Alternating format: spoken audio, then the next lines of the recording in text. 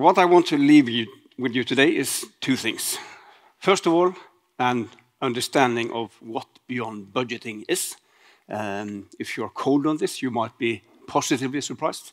Um, and also, um, hinting to the title, an understanding that there can be no agile transformation without beyond budgeting. Read my lips, it's simply impossible. Now, the author Douglas Adams, he once wrote that I may not have gone where I intended to go, but I think I ended up where I needed to be. And those words resonate with me because it was in no way given that I should stand here today and talk about beyond budgeting, because my career started in a very different place. I'm a finance guy by education. Uh, after graduating from business school, I joined one of uh, Scandinavia's largest companies, used to be called Statoil, now Equinor. And my first management job in that company the year after was head of the corporate budget department.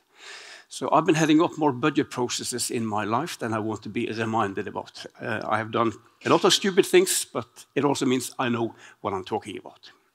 And also, I want you to um, also have in mind that when I talk about budgets, it's more than project budgets, cost budgets. It's the kind of the full finance definition. So we are talking um, uh, also profit and loss budgets and uh, cash flow budgets and kind of the full, full definition. Every time I discuss this topic with finance people, executives, there's one word that keeps coming up over and over again, and that word is control. And what do you think the context is? Of course, it is the fear of losing control. And I often ask these guys, okay, um, can you please explain to me what you are so afraid of losing? So, what, what, how do you define control? And after people have said cost control, actually many go quiet. They struggle with putting words on what they are so afraid of losing. So I checked up in Oxford Dictionary, how do they define control? And they call it the power to influence or direct people's behavior or the course of events. And what does this mean in organizational terms, in business terms? Well, basically two things, controlling people and controlling the future. And behind these two lies the two main assumptions behind traditional management. Number one, you can't trust people. Number two, the future is predictable and plannable. And you know as well as I do that that is not true, not at all. These are more illusions of control. Well, of course, you can manage people, but if people are managed in stupid ways, they hopefully find a way around in order to get their job done.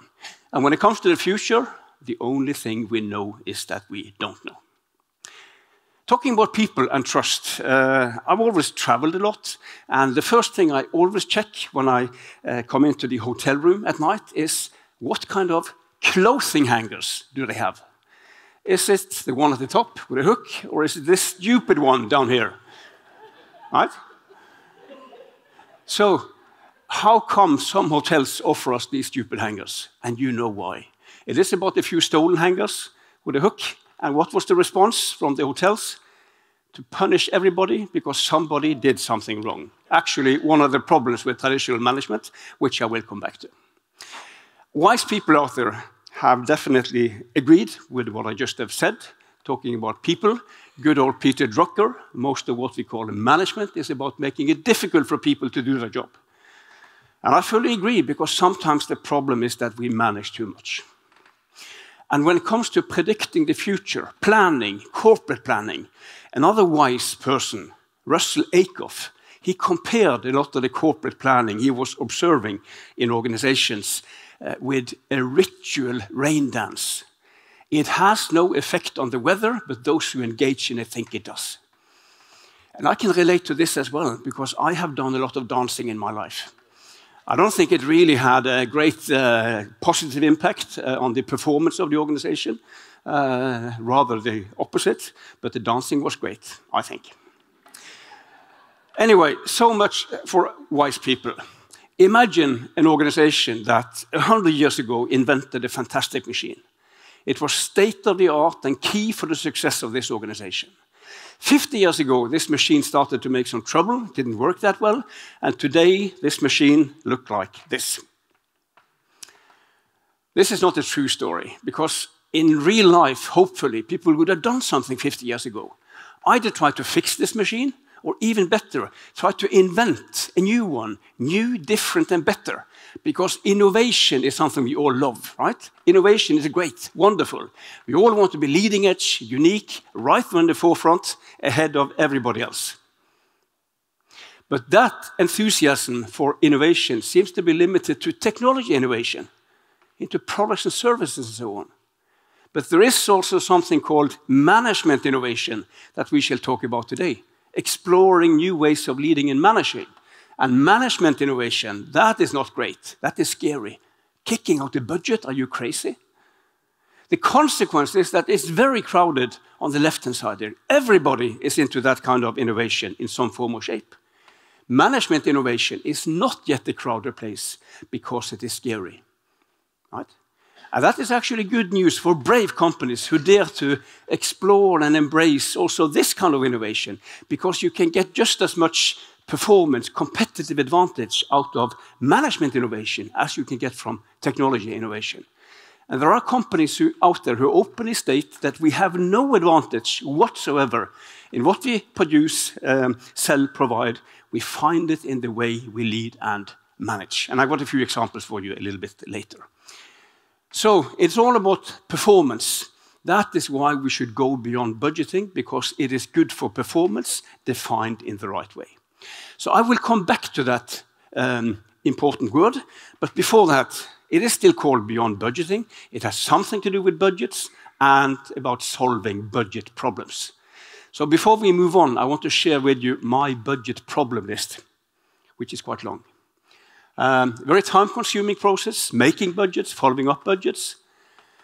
Assumptions, quickly outdated. Uh, I mean, good luck to everybody now preparing the budget for 2024. It must be like looking into a black hole. Good luck. This is a serious problem. Budgeting can stimulate what I would call unethical behaviors. The lowballing, the gaming, the sandbagging, the resource hoarding, the frenzy December spending. These are not the behaviors we would like to see between colleagues. At the same time, I'm not blaming anyone for behaving like this, because they are just responding to the system that we have designed for them to operate in. So, as you know, if we want to change behaviors, it's not about fixing people, it's about fixing systems. Budget can create these illusions of control. Uh, of course, it might feel very comfortable to have next year described with a million details and decimals. But again, the only thing we know is that we don't know. So if we don't have control, whatever that word means, maybe it's better to accept it, acknowledge it, and act accordingly, than to think that we have control, to fool ourselves and act accordingly. Budgets force us to make decisions too early. We have to decide in the autumn the year before what we shall do next year and what it shall cost. And in um, uh, larger organizations, too often too many of these decisions are taken too high up doesn't always improve the quality of decisions. Very often it's the other way around. Budgets can prevent us from doing stuff that we should have done, but we can't because it's not in the budget. And maybe this also sometimes works the other way around. Maybe it can lead us to do things that we maybe shouldn't have done, but it is in the budget and it is spend it or lose it. And linked to this, I fully accept that the cost budget can be a very effective ceiling on cost. It typically works. But that's just half the story, because that ceiling is just effective as a floor, in the sense that these budgets tend to be spent for the reasons we just discussed.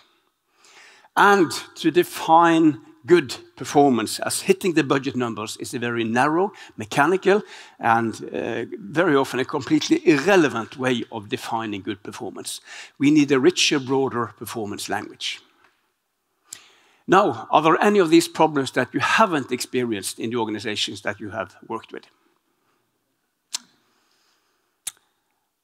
If so, you are in very good company, because I've been sharing this list of problems with hundreds of thousands of people around the world in the close to 30 years I've been working with Beyond Budgeting.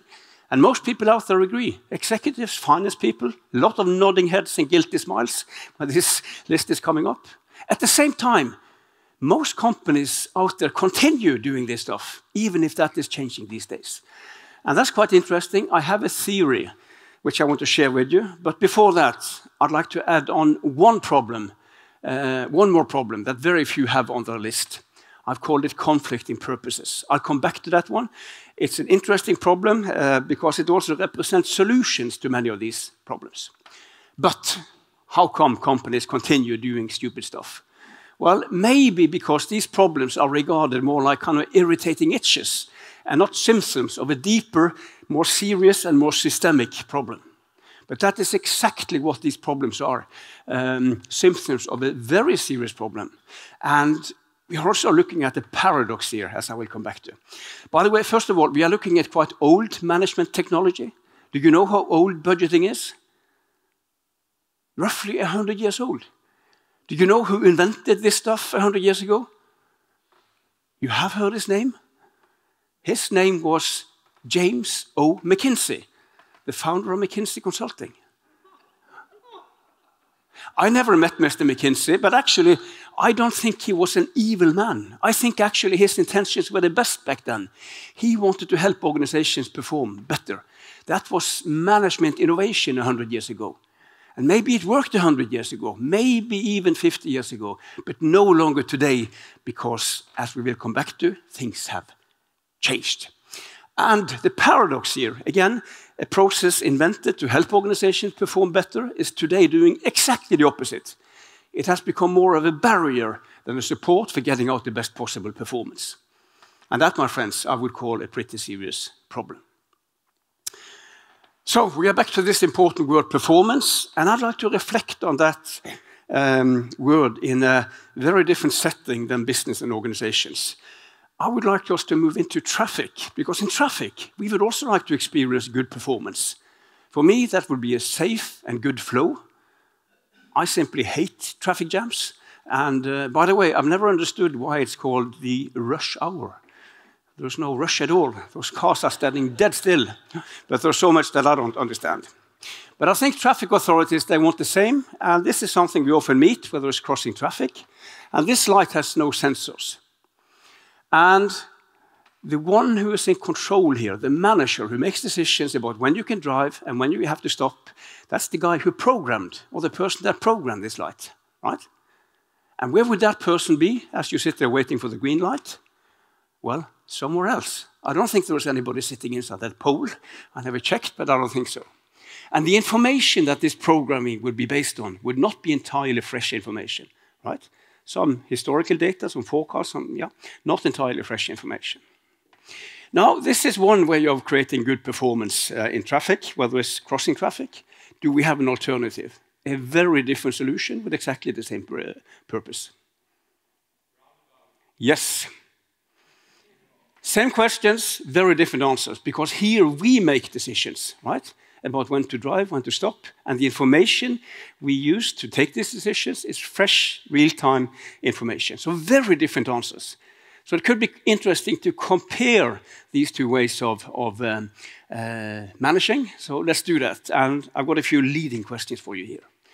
It's actually proven scientifically that the roundabout is not just more efficient, it's actually also safer, and lifetime cycle cost is lower. But we also know that it takes more competence from us to drive in a roundabout comparing to, uh, compared to relate to a traffic light. And going back to our organizations, everything we need to leave behind of traditional management is in many ways much easier for everybody involved compared to what we need to move towards right? Uh, take budgeting. I mean, for a manager, it's very, I mean, uh, that manager knows exactly um, uh, what can be spent on, on, on, or how much can be spent on what.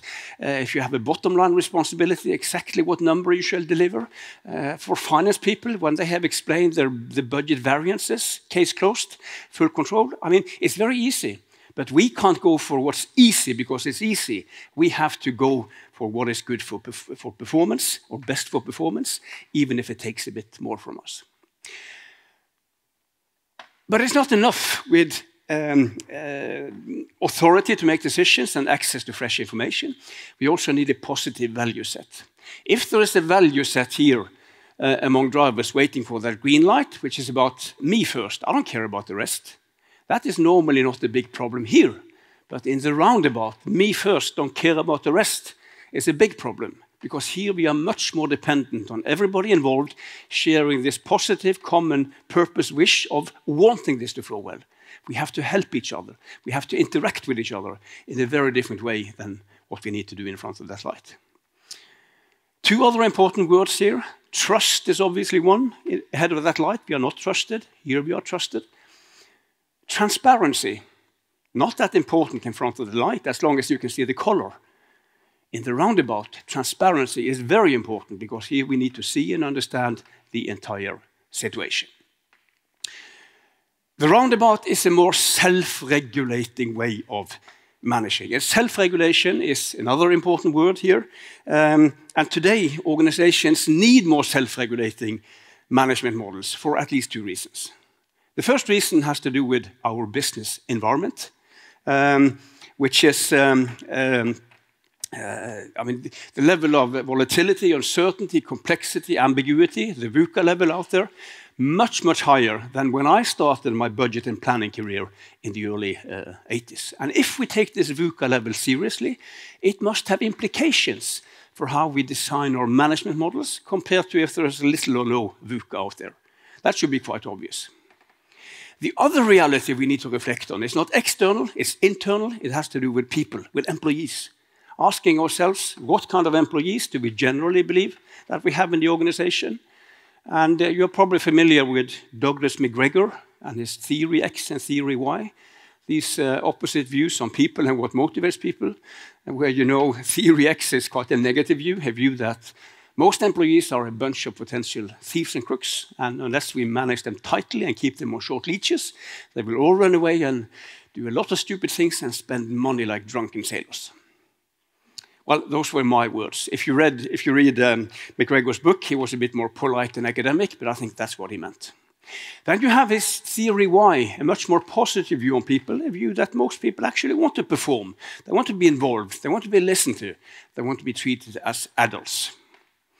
And we don't need to agree on where our sympathy lies, X or Y, even if I have a certain hope.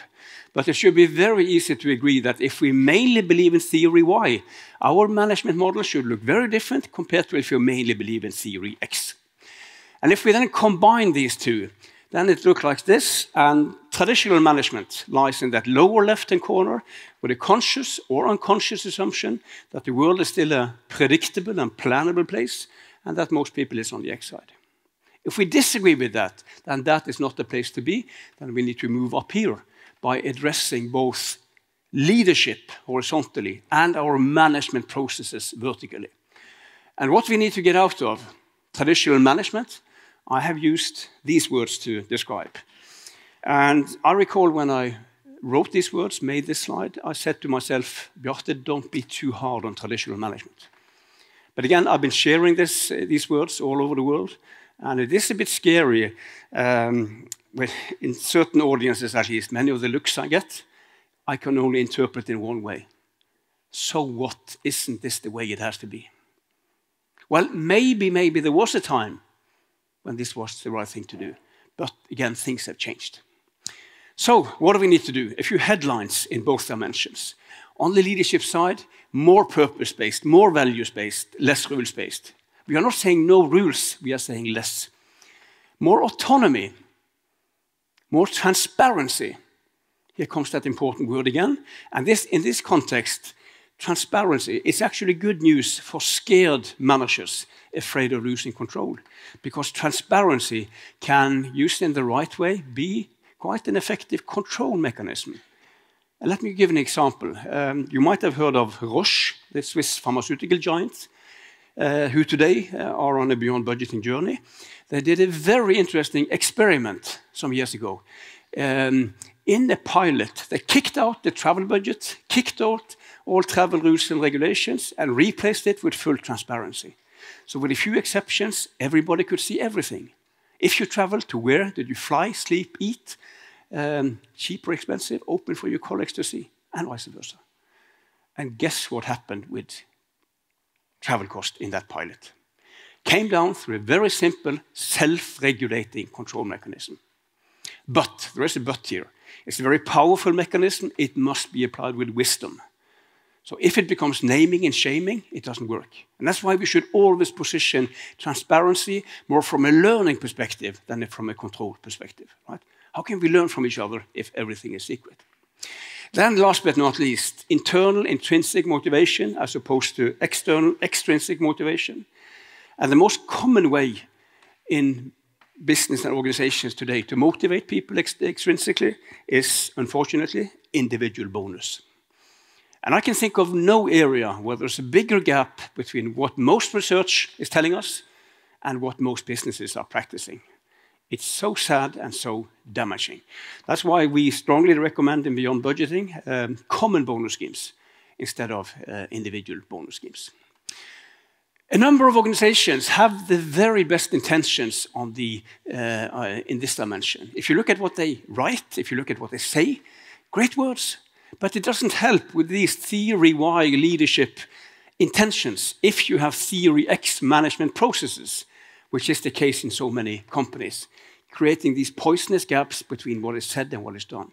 That is why, if we are serious with these words, we need to make sure that we change our management processes so that these processes reflect these words, while at the same time making our management processes more VUCA robust.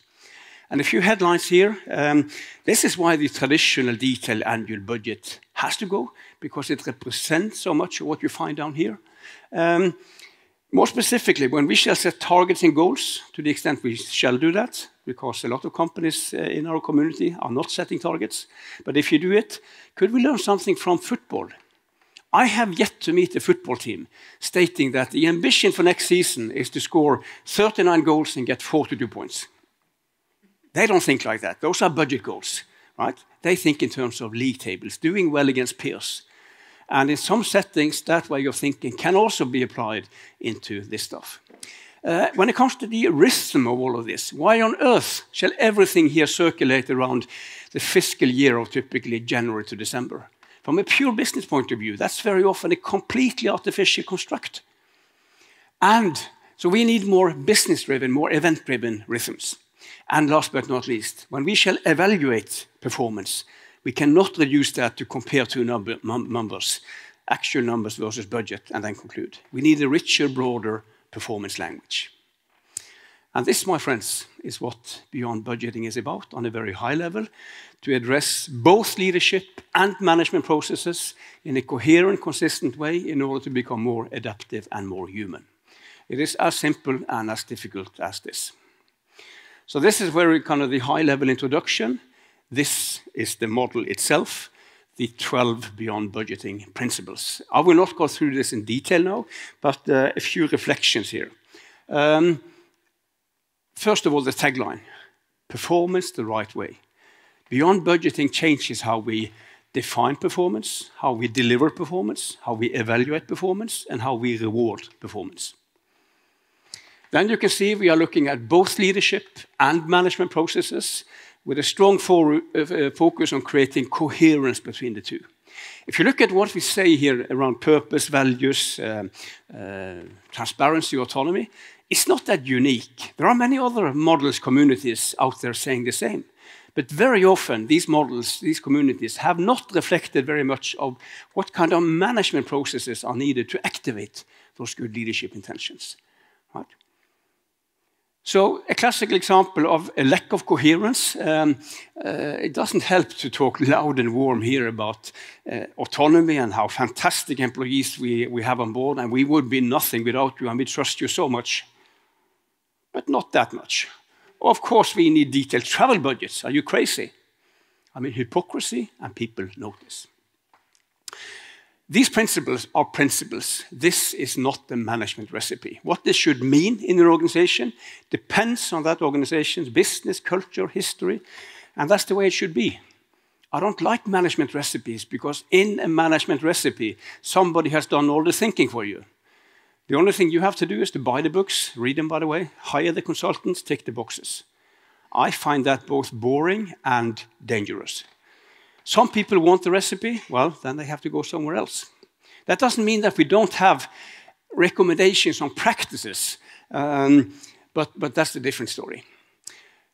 Now, um, agile and beyond budgeting. As you can see, many similarities between the, the manifesto um, and, and, these principles, uh, but also some differences. And what I will say now is no criticism of agile.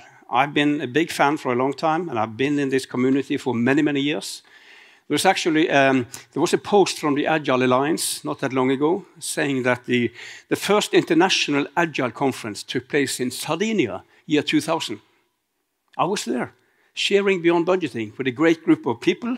Um, many of them are still my friends. But there is an issue around scaling agile, um, which I want to reflect on. Uh, I think that this is problematic, uh, or has been problematic for a couple of reasons. One reason has to do with the birthplace of um, uh, agile in software development, how teams work. And what do you think executives in big organizations observed in those pioneer years of agile? Right? Better projects, better outcomes, more engaged employees. Who can be against that? Hey guys, I love Agile. Keep up the good work. Then Agile started to scale, and it had implications for executive beliefs and behaviors. And then it wasn't that fun anymore, right? Beyond budgeting has gone for the throat of those beliefs from day one. We were born at corporate level as a way of running an organization. The other issue has to do with language. I mean, you can't take exactly the same language that did wonders for, for that kind of, um, uh, for, for, that area uh, and, and, use it in the scaling. I mean, for an executive who don't play rugby and is, is unfamiliar with, with Agile might think that Scrum is some kind of skin, skin disease or that Slack is about laziness or Sprint is about running faster and continuous delivery is about 24-7, right? So we need a language here that these guys can understand. We provide that language. They might not agree with us, but they understand what we are talking about. And last but not least, because Agile was born where it was born, there was a lot of things that Agile didn't need to have a view on. If you look at all these management processes on the right-hand side, not very much addressed in Agile for good reasons. When you scale Agile, these holes become visible. These are the holes that beyond budgeting is plugging.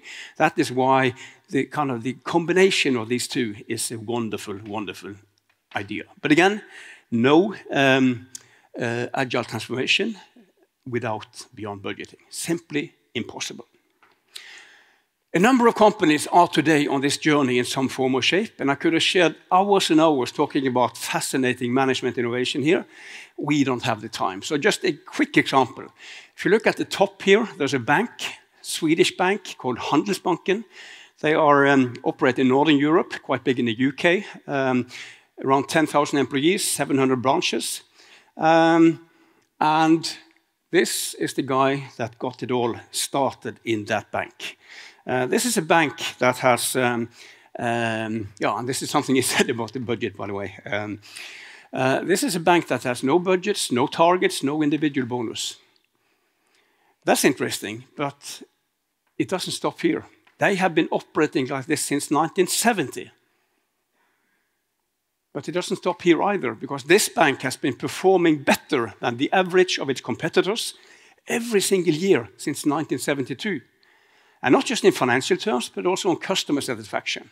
And the key, a lot of autonomy, a lot of transparency, a very positive view on people, um, and again, fantastic performance for over so many years. So this was one of the companies, not the only one, but one of the companies that inspired the Beyond Budgeting model that was then um, kind of formally put on paper uh, in, in the late 90s, so a few years before the Agile Manifesto. A question we often get is, does this stuff work? And uh, we have some very strong indications that it does. Um, one indication, very few companies go back once they have started, right? So what is scary today might not be scary tomorrow because it works. So, so what happens instead is that companies get braver. Very few go back. Um, the other thing is that if we look at the performance of these companies, they tend to do well within their own business. But lately, we've had some additional um, indications coming from, of all places, the big consulting firms. And two of these have done surveys about their clients and others. Um, how, what's your experience with beyond budgeting? And one of these companies is uh, BCG, Boston Consulting Group. And they ask uh, practitioners, what kind of benefits do you see? And this is what um, uh, the respondents came up with. Um, And if you look at the, the kind of the most, the one at the top, it's very direct financial impact on higher sales beyond former budget ceilings. There are many other more indirect positive effects that in the end has a good effect on the, um, on the bottom line. Another big company, consulting company, is called Bain, Bain and Company. They had a slightly different angle. They have defined something which they call leading companies, uh, a group of companies, leading companies in financial planning. And then they looked at to which extent do these companies, um, leading companies, apply these principles compared to the rest. And this is what Bain came up with, and the leading companies in, in dark blue here. And again, quite a yeah, compelling picture. Now, um, back to, um, on my final slides here, back to the, uh, that last problem, conflicting purposes. And it goes back to asking a very simple question why do we budget? And if you ask executives, managers, finance people, others, they would typically come up with three different reasons. They use budgets to set targets, financial targets, sales targets, production targets. But that budget should also be a kind of forecast of what next year can look like in terms of cash flow, profit. And last but not least, this is a resource allocation mechanism, handing out back some money on, on, on operational cost and on investments projects. And it might seem very efficient to solve all three in one process and one set of numbers, but that's also the problem. What happens when you move into a traditional budget process and upstairs finance wants to understand next year's profit? So they start by asking people they're responsible for sales, what are your best numbers for next year? But everybody knows that what I'm sending upstairs will come back to me as a sales target for next year, maybe with a bonus attached to it. And what could that insight do to the level of numbers submitted? Well, trust me, this way. Moving to cost, um, same people, other people are asked, what are your best numbers for next year? But everybody knows that this is my only shot at getting access to resources for next year, right? And maybe some remember that 20% cut from last year. And that memory and that insight might also do something to the level of numbers submitted. This is a problem, not just because it destroys the quality of numbers, but also because it, it stimulates this borderline unethical behaviors. The solution, very simple. We can still do all three things, but we have to do them in three separate processes because these are different things, right? A target is an aspiration, it's what we want to happen. While a forecast is an expectation, what we think will happen, whether we like what we see or not. And resource allocation is about optimization of scarce resources. And having separated, then of course the target can now be more ambitious than the forecast, which it typically should be. But even more important, we can now start to improve each one in ways impossible to um, when it was all bundled in one process and one set of numbers. So now we can have great discussions about how to set better targets using league tables uh, where it makes sense. And as I said, some companies, they simply skip target setting, and it works. How can we get the gaming and the politics out of forecasting?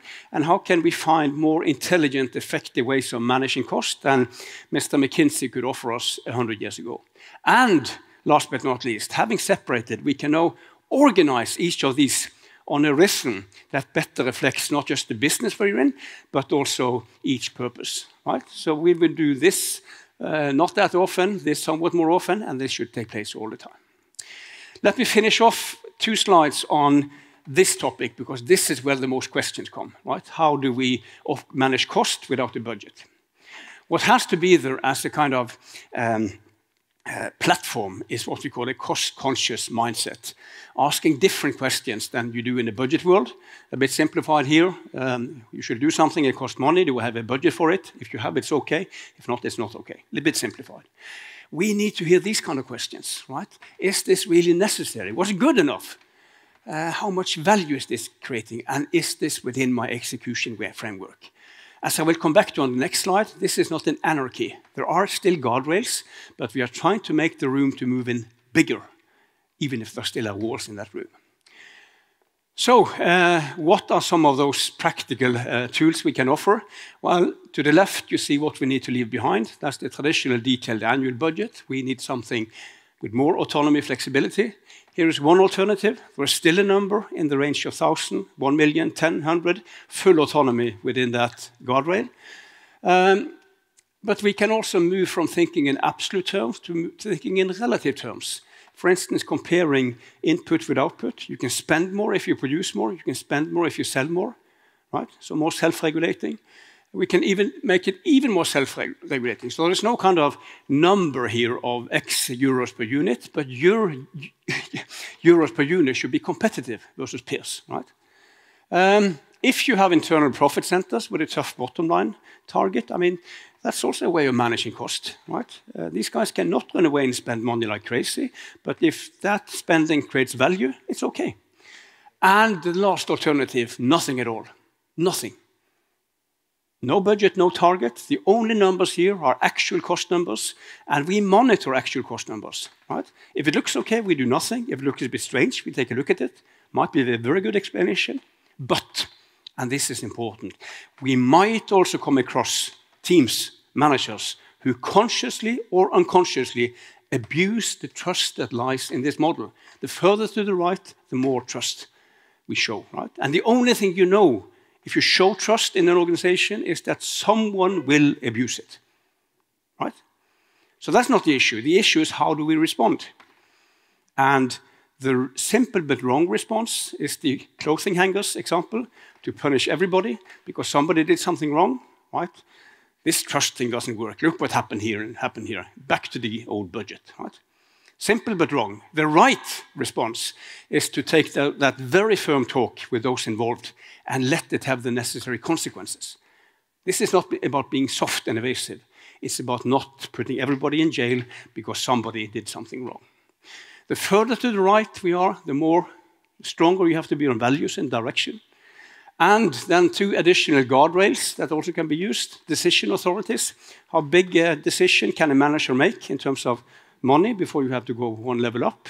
And also um, spending guidelines. Travel costs. In Europe, we fly coach. Intercontinental, we can fly business. Nothing to do with travel budgets. So that is what I wanted to share with you. I'm sorry about the rush, but it's a big topic and 45 minutes is short.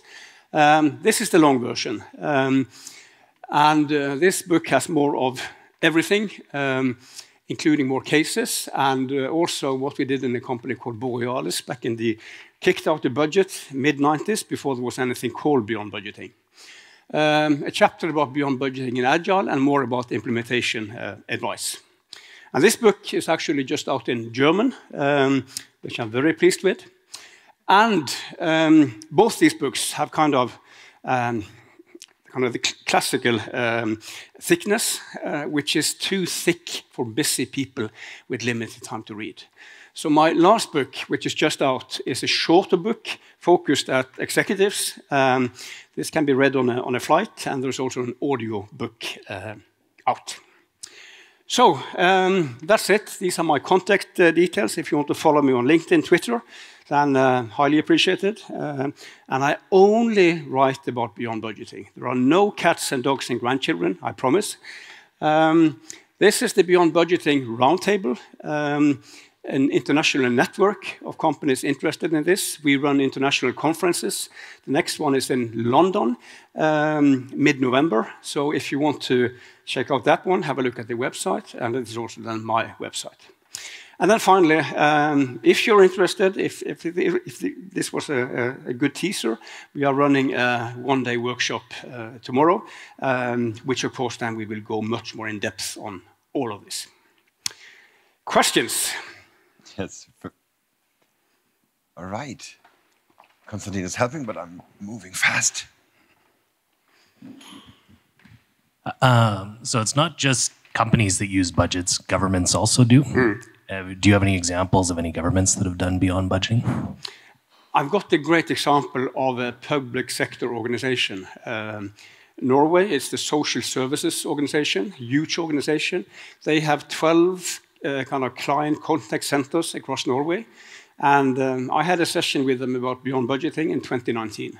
From 2020, they did an experiment. In two of these centers, the message was that no cost budget. You can spend whatever you need to in order to do a good job, but not more.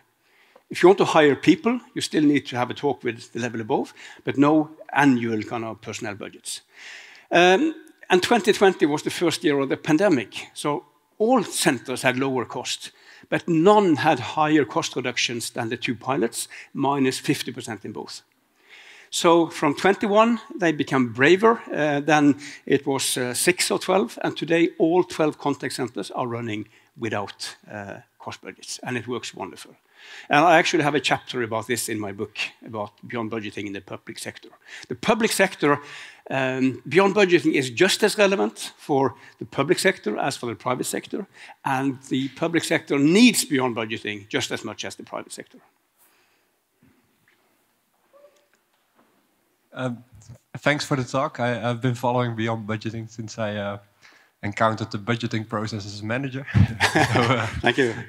I liked it. Um, uh, do you have any experience of combination of Beyond Budgeting with LeSS or LeSS like, and do you have any tips or learnings for us to do things better?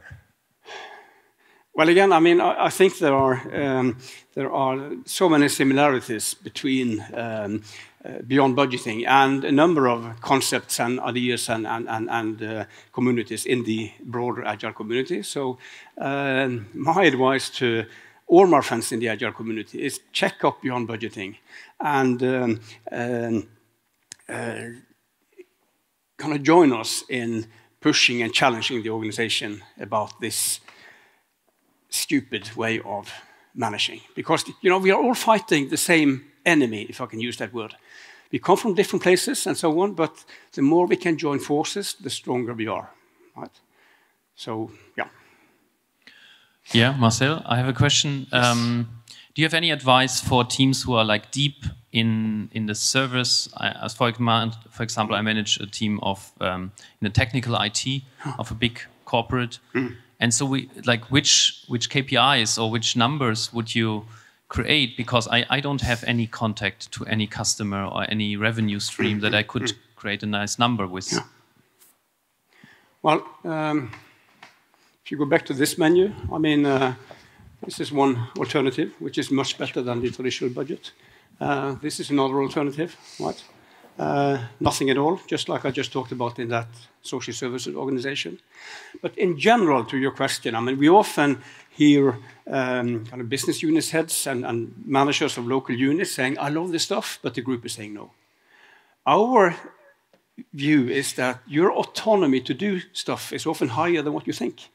Because when the stupid stuff is coming from above, then up with the umbrella. Protect your organization. Don't turn around and let it pass further out. Protect your organization. Try to manage as much as possible like this, and then get help from some finest people to feed the big system. It's not ideal, but it's better than doing nothing. And again, this, on this menu, there should be something for everybody when it comes to cost management. So this is a big applause for you, Bjarte. Thank you so much for your wisdom knowledge. What a well-structured and nice keynote here. Thank you very much.